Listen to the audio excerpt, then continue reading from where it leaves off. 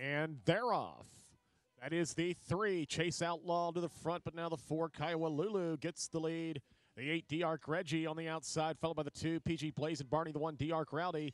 The two is knocked back as they head for home. The four, Kiowa Lulu, off to herself easily. Four, three, one, and eight.